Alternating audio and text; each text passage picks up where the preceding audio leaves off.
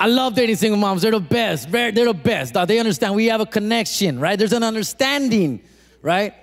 A single mom knows that I can't come out on the first and the 15th. She knows that shit. Here's what sucks about dating a single mom, man. Here's where shit gets real. Once you break up with the mom, you gotta break up with the kid. All right? So you gotta let the kid know. You gotta see him in the eye. You gotta look up in the eye and be like, hey, sorry, kid, it's not you.